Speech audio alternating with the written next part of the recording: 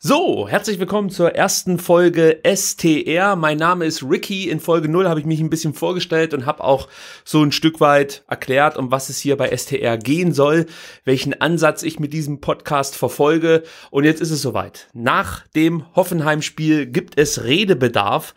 Und ähm, ja, ich möchte auch gar nicht lange rumschwafeln und direkt in Medias Res gehen und äh, so ein bisschen über das Hoffenheim-Spiel sprechen. Also zunächst mal war ich wirklich begeistert von der Stimmung während dem Spiel sowieso, aber auch vor dem Spiel. Man hat einfach gemerkt, dass der VfB und seine Fans gelöst und fast schon gelassen in dieses äh, äh Nachbarschaftsduell gehen. Ihr habt es gemerkt, ich hätte fast Derby gesagt, obwohl ich wirklich ein Verfechter bin, dass man wirklich das Spiel gegen Hoffenheim eben nicht als Derby bezeichnet. Aber es ist mir fast passiert, weil es natürlich dann äh, doch immer wieder um das Spiel herum gefallen ist und ähm, ja, beinahe hätte ich mir selber ein Bein gestellt, aber ich bin gerade noch davon gekommen. Was wollte ich sagen? Also zu Beginn, wie gesagt, die Stimmung, das war schon phänomenal, super gelöst. Man hat einfach gemerkt, jeder hat Bock auf eine riesige Party äh, und ich habe schon im Vorfeld mitbekommen, dass es eine große Choreo geben soll. Also auch darauf habe ich mich gefreut. Und als ich dann ins Stadion gekommen bin, ähm, vielleicht kurz dazu, was ich sitze in der Cannstatter Kurve und habe schon gesehen, wie da diverse Teile der Choreo aufgebaut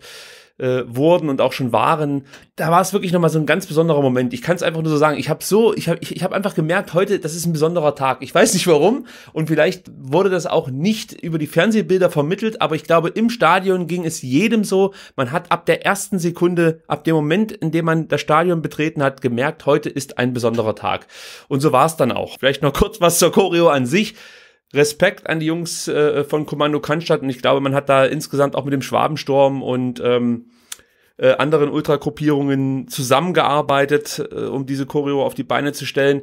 Das war großes Kino, also äh, Gänsehaut pur. Und ich muss ganz ehrlich sagen, ich hatte sogar eine kleine Träne im Auge. Als die Choreo äh, äh losging und die Musik ertönte und dann eben die, die komplette Choreo ausgepackt wurde, das war schon ein sehr, sehr geiler Moment. Also äh, ja, und ein Stück weit muss man halt auch wirklich stolz auf so eine Fanszene sein. Man sieht halt bei anderen Vereinen, was da so abgeht. Damit meine ich jetzt nicht verärgerte Hamburg-Fans oder so, sondern damit meine ich halt eben äh, den VfL Wolfsburg, auch Hoffenheim, Leipzig. Wenn man sieht, was da so von den Fans kommt, nämlich relativ wenig, einfach nur Lust auf Erfolg und sobald dieser Erfolg nicht da ist, wird äh, dem Verein der Rücken gekehrt. Das ist beim VfB nicht so. Hier sind die Fans immer da und das Stadion ist eigentlich auch immer voll und das ist für mich wirklich absolut herausragend, was da los ist, äh, äh, Woche für Woche und auch in den Zeiten, wo es nicht so gut lief und auch in der zweiten Liga, wo es nicht immer gut lief. Also nochmal Shoutouts gehen raus an die ganzen Ultras und natürlich alle Fans, die regelmäßig ins Stadion gehen und auch die, die vorm Fernseher sitzen, die gehören genauso mit dazu. Nicht jeder kann sich das leisten, nicht jeder hat die Möglichkeit, am Wochenende nach Stuttgart zu fahren. Von daher ist es scheißegal, wo ihr den Club unterstützt. Ich finde das immer hervorragend, wenn man seinem Verein auch ähm, ja, an nicht so guten Tagen zur Seite steht. So, jetzt aber zum Spiel. Da hat man gleich zu Beginn gemerkt, dass die Hoffenheimer hier äh, richtig Bock haben auf geilen Kick. Die haben ziemlich viel Gas gegeben in den ersten 15 bis 20 Minuten. Und was mir da aufgefallen ist, war, wie wichtig Holger Bartstuber ist. Das ist jetzt hier nicht irgendwie Breaking News. Wir wissen, wie gut Bartstuber spielen kann und äh, was er für eine Erfahrung mitbringt. Aber es gab so äh, zu Beginn des Spiels das ein oder andere Mal bedenkliche Fehler von Baumgartel auf der rechten Seite, der sich da ein paar Mal hat überlaufen lassen. Und da war es Holger Bartstuber, da habe ich durch Zufall drauf geachtet, der Baumgartel zunächst unterstützt hat, motiviert hat, aber auch angestachelt hat. Also man hat richtig gemerkt, wie Bartstuber Baumgartel in den Arsch tritt und sagt, Junge, wach auf! Nimm den Kampf an, beiß dich rein. Und genau das hat äh, Baumgartel dann auch getan und hat sich so ein Stück weit aus dem Loch kämpfen können, durch das er erstmal gehen musste zu Beginn des Spiels. Also das war für mich eine ganz, ganz spielentscheidende Szene von Holger Bartstuber, wie er da wirklich seine Abwehr motiviert und die Jungs absolut wach hält. Also das war wirklich herausragend. Wir haben ein bisschen Glück gehabt. Kramaric hat eine Riesenchance. Der Ball ging da so leicht am, am Pfosten vorbei. Das hätte auch schon das 1 zu 0 sein können. Ja, Glück gehört dazu und von daher kann ich auch damit ganz gut leben, wenn äh, der VfB sich da nicht so ein blödes Tor fängt, äh, schon relativ äh, früh. Ein Knackpunkt für mich war die Rupp-Verletzung, die hat, glaube Hoffenheim ein Stück weit geschockt. Dazu möchte ich auch nur ganz kurz was sagen.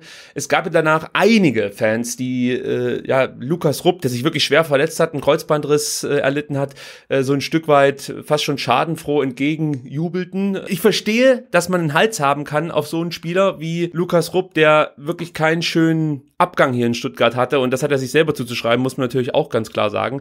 Aber auf der anderen Seite muss ich halt sagen, äh, das ist halt Fußball. Ja? Also du verlässt den Verein, wenn es nicht so läuft, wenn du irgendwo mehr Geld bekommst und jeder, der das nicht versteht, der ähm, macht sich da ein Stück weit was vor. Ich hatte gestern im Stadion auch eine kurze Unterhaltung mit einem Fan, der auch schadenfroh sich geäußert hat in Richtung Lukas Rupp. Und ich habe auch zu ihm gesagt, für mich ist es scheißegal, wer das Trikot trägt des VfBs. Für mich zählt nur Stuttgart. Mir ist es scheißegal, wer dieses Trikot trägt. Jeder von den Spielern, die gestern auf dem Platz standen, denen wir zugejubelt haben und die wir momentan verehren und lieben. Jeder von diesen Spielern hat insgeheim den Wunsch, irgendwann Champions League zu spielen oder bei einem deutlich größeren Club als beim VfB Stuttgart. Das heißt, wenn das richtige Angebot kommt, wird von denen, die gestern auf dem Platz standen, auch keiner mehr das äh, äh, Trikot mit dem Brustring tragen. Das ist einfach die Realität im Fußball. Es gibt Ausnahmen, Christian Gentner ist da mit Sicherheit zu nennen, aber dann hört es auch fast schon auf. Man kann aus meiner Sicht da nicht so zu tun, als, als hätte sich Lukas Rupp unloyal dem VfB Stuttgart gegenüber verhalten.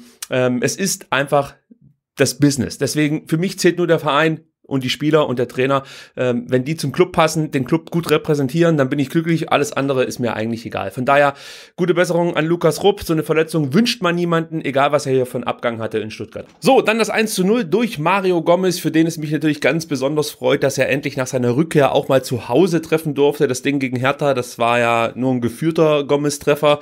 War dann doch ganz deutlich ein Eigentor. Ja, schön, dass er da trifft und den Fehler, den Stellungsfehler von Akpobuma so ein Stück weit ausnutzen kann, der sich da doch relativ dilettantisch verhalten hat.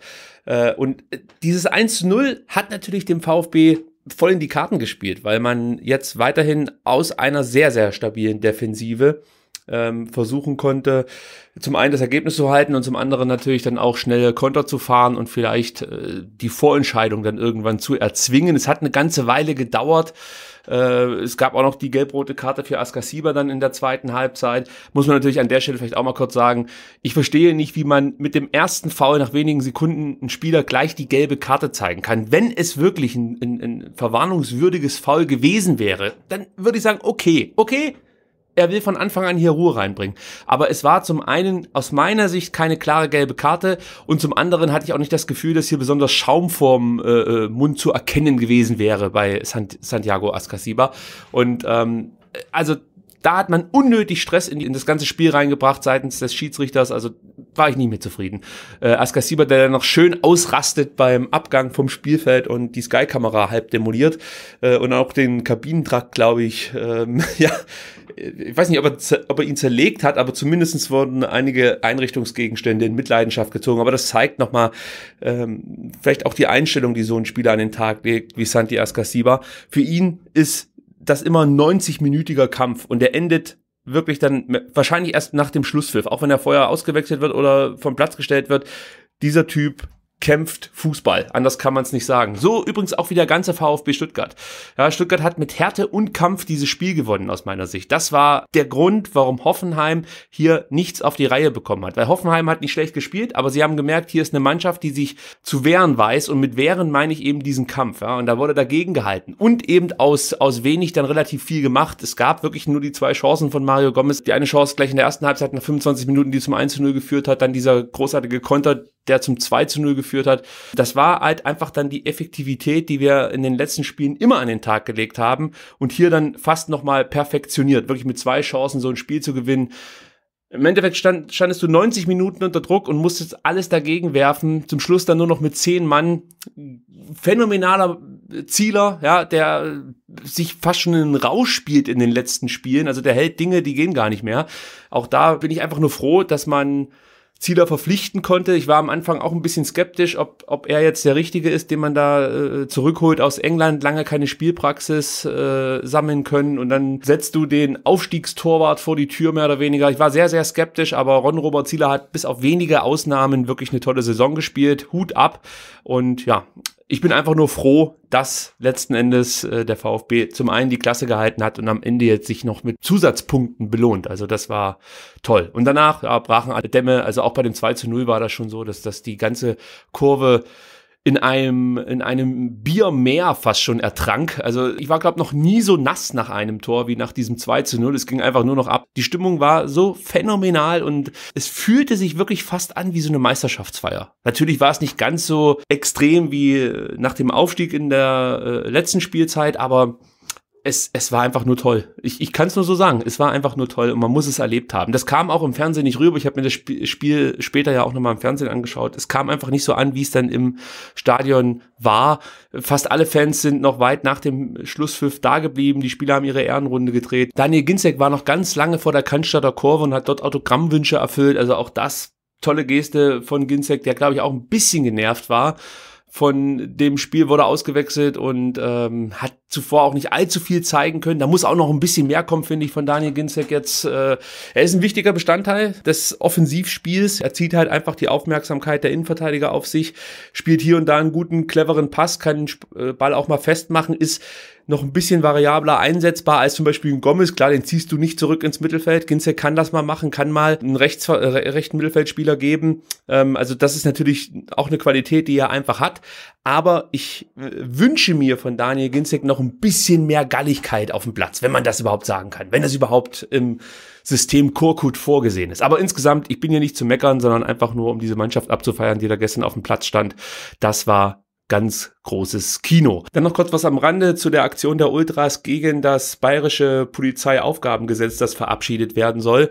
Da wollten ja die Jungs vom Schwabensturm, glaube ich, eine Broschüre in der Cannstatter Kurve verteilen, die so ein bisschen einfach erklärt, warum man sich eigentlich gegen dieses äh, geplante Gesetz stellen sollte. Der VfB hat gesagt, nein, das darf nicht verteilt werden. Sie möchten sich da an keine politischen Diskussionen beteiligen. Und danach wurde dann auch hier und da mal von Zensur gesprochen. Das ist natürlich keine Zensur, wenn der Hausherr, also wenn der VfB Stuttgart, der eben das Hausrecht genießt in der Mercedes-Benz Arena, wenn, wenn, wenn die sagen, nee, ihr dürft diese Prospekte bei uns nicht verteilen, dann ist das keine Zensur, sondern dann ist das einfach nur das Recht des Vereins. Das können sie halt machen. Was allerdings dann auf der anderen Seite die Ultras tun können, ist die Broschüre auf dem Weg zum Stadion, äh, vorm Stadion zu verteilen. Das wäre alles möglich gewesen und dementsprechend ist es da keine Zensur. Ich bin absolut auf der Seite der Ultras. Ich bin der Meinung, man sollte sich gegen dieses Gesetz stellen und man sollte auch auf sich aufmerksam machen, wenn man ein Problem damit hat. Man sollte es nicht einfach so durchwinken. Man versucht ja seitens der äh, Regierung dort in Bayern das Ganze schon äh, äh während der WM irgendwie abstimmen zu lassen.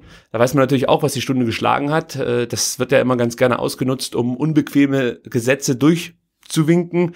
Also äh, ich finde schon wichtig, dass man darauf aufmerksam macht. Aber man sollte Verständnis dafür haben, dass der VfB eben nicht möchte, dass solche politische, politischen Statements im Stadion gesetzt werden. Nichtsdestotrotz wurde trotzdem ein Banner ausgerollt, das Klarstellung dazu bezogen hat. Ich bin gespannt, was das für Auswirkungen für zukünftige Choreos haben wird. Also das dürfte wahrscheinlich den Verantwortlichen beim VfB übel aufgestoßen sein.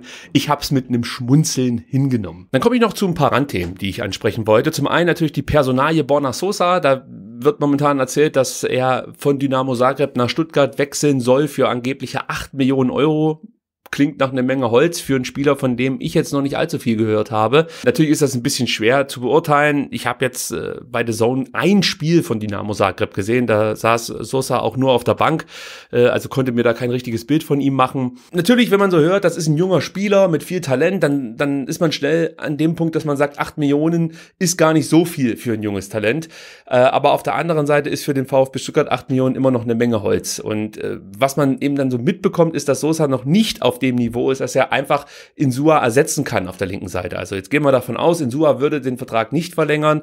Äh, man holt sich Bonasosa, das ist schon ein Ritt auf der Rasierklinge, dann mit so einem jungen Mann da auf der linken Seite in eine neue Saison zu gehen. Meine Idealvorstellung wäre, glaube ich, dass man Sosa verpflichtet für deutlich weniger als 8 Millionen Euro, mit Insua verlängert und ähm, ja, Sosa dann langsam an die Startelf ranführt. Ja, also das wäre, glaube ich, etwas, mit dem könnte ich ganz gut leben. In Sua vielleicht noch mal zwei Jahre Vertrag geben oder ein Jahr plus Optionen oder sowas in der Art und dann eben äh, Sosa langsam an die erste Mannschaft ranführen und gucken, wie er sich entwickelt. Aber acht Millionen ist eine Menge Holz für so einen jungen Kerl, der eben noch nicht die Qualität nachgewiesen hat in einer guten Liga. Ja, die kroatische Liga, da wirst du ja kaum gefordert als Linksverteidiger. Ähm, also kann natürlich trotzdem sein, dass der Typ einschlägt wie eine Bombe und wenn wir ihn nicht holen, dass wir in zwei Jahren denken, Mensch, hätten wir die acht Millionen mal nur locker gemacht, aber es ist für den VfB, glaube ich, wirklich einfach noch ein großes Risiko. Ich hoffe, dass Reschke da besonnen agiert und sich nicht von den Mamic-Brüdern einwickeln lässt. Äh, die Mamic-Brüder beraten Bonasosa und äh, was man so hört, ist, dass Reschke und die Mamic-Brüder auch ein gutes Verhältnis pflegen. Ich hoffe, dass es da nicht so eine Patternwirtschaft, hätte ich fast gesagt. Das ist es ja nicht ganz, aber dass es da irgendwie so Freundschaftsdeals oder sowas gibt. Ja, aber normalerweise sollte Michael Michael Reschke da eigentlich ähm, der Richtige sein, um dann auch gute Entscheidungen zu treffen. Darüber hinaus äh, beginnt sich natürlich das Transferkarussell immer schneller zu drehen, immer mehr Namen werden gehandelt. Ich bin gespannt, was da in den nächsten Tagen passiert. Ich möchte jetzt die ganzen Namen gar nicht kommentieren, weil es ist halt alles ziemlich schwammig, muss man ganz ehrlich sagen. Also da werden, wie gesagt, dann auf einmal Namen rausgehauen wie Jordan Turunariga von Hertha BSC Berlin. Mit Sicherheit ein sehr hoffnungsvolles Innenverteidiger-Talent. Ähm, aber jetzt nur, weil der Spieler sich mal negativ darüber äußert, dass er nicht berücksichtigt wird von seinem Trainer, gleich davon auszugehen, dass er äh, innerhalb der Bundesliga wechselt. Ja, das ist mir zu spekulativ, um jetzt mich da lange mit zu befassen. Von daher möchte ich das Ganze jetzt einfach mal so stehen lassen. Ich bin mir sicher, dass der VfB in Persona Michael Reschke ähm, ein paar gute Transfers tätigen wird. Müssen sie auch. Ich bin gespannt, in welche Richtung das Ganze geht. Es wird ja immer wieder gesagt, der VfB braucht irgendeinen Spieler, der das Offensivspiel ähm, ein bisschen ankurbelt. Ja, da würde es dran hapern. Ich sehe das auch so, dass es äh, natürlich nach vorne hin ein bisschen mehr sein dürfte, aber auf der anderen Seite ist es, glaube ich, genau die Stärke des VfB Stuttgarts, dass man so unglaublich kompakt spielt. Und wenn du jetzt einen Spieler rausnimmst, der jetzt mit Defensivaufgaben beauftragt wurde und dafür einen eher offensiveren Spieler reinbringst, ja, auch wenn der hohe Qualität haben sollte, dann kann es natürlich dir ganz schnell passieren, dass du hinten mehr Tore fängst und wir kennen es alle aus der Abstiegssaison, vorne die Kisten nicht machst. Ja, also wenn du dann halt einfach in entscheidenden Momenten dann nicht das Glück hast, wie gestern gegen Hoffenheim, dann passiert es dir vielleicht, dass du vorher noch ein 1 zu 0 fängst und dem dann hinterherlaufen musst. Also von daher wäre ich da vorsichtig mit der Forderung nach mehr Offensivqualität. Ich finde, die Mischung ist momentan richtig gut. Du hast wirklich eine sehr kämpferische Mannschaft da auf dem Platz, die man sagt das immer wieder so fast schon floskelhaft, sehr kompakt steht, aber es ist so. Hier wird Fußball gekämpft, ich bleibe bei dieser Aussage. Äh, und ein wichtiger Bestandteil ist eben auch das zentrale Mittelfeld. Ich hätte nicht gedacht, dass ich das mal sage, aber Dennis Aogo, nach vorne könnte es definitiv besser sein, aber er macht das nicht schlecht mit äh, Santiago Ascasiba. Zu dem braucht man überhaupt nichts mehr sagen. Ist für mich der Spieler der Saison, vielleicht neben Benjamin Pavard. Das ist halt einfach richtig, richtige Qualität, die wir da auf dem Platz haben. Dann mit Gentner, der über Außen spielt, aber auch dann ins Zentrum rutschen kann und auch mal einen Zweikampf gewinnen kann, hast du fast schon eine Kampfsau auf dem Platz. Und ähm, die einzige Personalie, die ich so ein bisschen in Frage stelle, ist Eric Tommy, obwohl der auch eine klasse Rückrunde gespielt hat, gar keine Frage. Aber wenn es da einen Spieler gäbe, der bereit ist, kämpferisch so zu agieren wie Eric Tommy und gleichzeitig dann vielleicht noch ein bisschen mehr Durchschlagskraft nach vorne zu entwickeln, dann bin ich dabei. Dann kann man den von mir aus verpflichten. Aber jetzt im Zentrum ähm, die eher defensiv agierenden Aogo und Askasiba zu trennen, halte ich für zumindestens bedenkenswert. Ja, also äh, klar, du kannst für die Zentrale einen neuen Spieler verpflichten, der dann vielleicht Aogo ersetzt, der auch ein bisschen mehr Qualität hat als Dennis Aogo. Das kann man machen, aber da auf Teufel komm raus, jetzt einen Offensiven hinzustellen, ich weiß nicht, ob das die richtige Wahl ist. Aber auch hier bin ich mir sicher und hoffe einfach, dass Michael Reschke die richtigen Verpflichtungen tätigen wird und die Mannschaft weiter voranbringt. Dann würde ich sagen, ist das die Folge eins ich habe jetzt nicht allzu viel, was ich noch erzählen möchte. Vielleicht noch ganz kurz was zum Jubiläumsdesign der neuen Dauerkarten für die Saison 18, 19. Ähm, ich denke mal, alle, die eine Dauerkarte besitzen, werden in der Post schon ja dieses Dankeschreiben bekommen haben vom VfB Stuttgart. Und da sieht man ja schon das neue Design der Jubiläumsdauerkarte. Das neue Design im alten Design, muss man sagen. Also die alten Abknipskarten, ich glaube von den 70ern und 80ern wurden wieder ausgepackt. In diesem Design wird die neue Dauerkarte ausgehändigt werden. Finde ich eigentlich eine ganz gute Idee. Gefällt mir eigentlich. Ja, also mehr kann man dazu fast nicht sagen. Ab 8.5., falls ihr das nicht wisst, dürfen die Dauerkarten verlängert werden. Und ähm, ja, im Laufe des Sommers können sich dann auch alle Mitglieder und Nichtmitglieder versuchen, Dauerkarten zu sichern. Ich bin mir noch nicht 100% sicher, ob ich meine Dauerkarte verlängere, weil ich in diesem Jahr mit meinem Platz nicht nicht richtig zufrieden war. Ich saß irgendwie zu weit links, wenn man das so sagen kann. Also sprich, mir fehlte immer so der Blick auf die rechte Spielhälfte von der Cannstatter Kurve aus gesehen. Äh, und da muss ich, da muss ich nachjustieren, definitiv. Also könnte gut sein, dass ich den Platz verlasse. Aber das soll ja jetzt hier nicht Thema der ersten Folge sein. Wenn euch das Ganze hier gefällt, wenn ihr sagt, Mensch, äh, äh, eigentlich macht er das gar nicht so verkehrt, mehr davon, bitte lasst es mich wissen. Es gibt einen Twitter-Account, einmal mein ganz persönlicher, das ist at Ricky Palm. Und es gibt natürlich auch inzwischen einen Twitter-Account für STR und der heißt at VfBSTR. Also wenn ihr mir da irgendwelche Verbesserungsvorschläge senden wollt, könnt ihr das über diese Twitter-Accounts tun. At VfBSTR und at Ricky Palm. Wenn ihr diesen Podcast über iTunes hört, dann würde ich mich natürlich mich über eine 5-Sterne-Bewertung freuen. So, jetzt bin ich aber wirklich, glaube ich, durch. Sage Tschüss, bis zum nächsten Mal.